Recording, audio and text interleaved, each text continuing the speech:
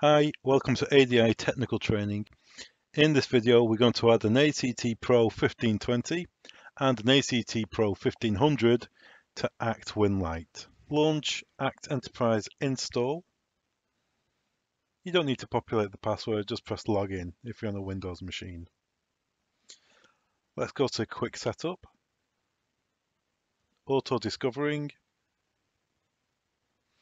we're adding uh, an ACT 1500 and the 1520. So press next.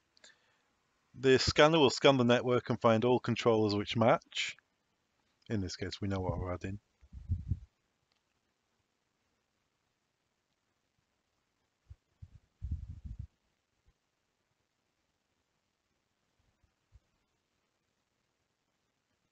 So it's found the 1500 and the 1520. Let's tick and add them. Then at the bottom there, add new. Yes, we want to add these.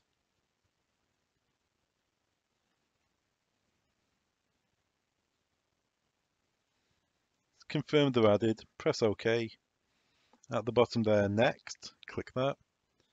We can do a little test to make sure everything's working. So select all the doors. Let's unlock the doors.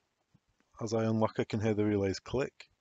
Let's lock them, delock and then normalize, make sure everything's okay. At the bottom there, press next. Just to confirm, it's a 1520, that's correct.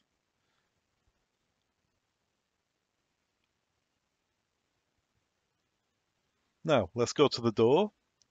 Left click, click on details. We're going to change the door name. So let's call this the front door. Press save. That's the front door saved. In the top right hand corner there you can see the arrow. If you click the next arrow, it's going to take us to the next door.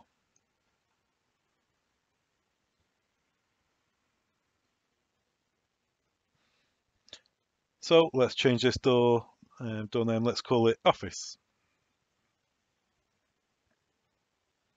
Press save.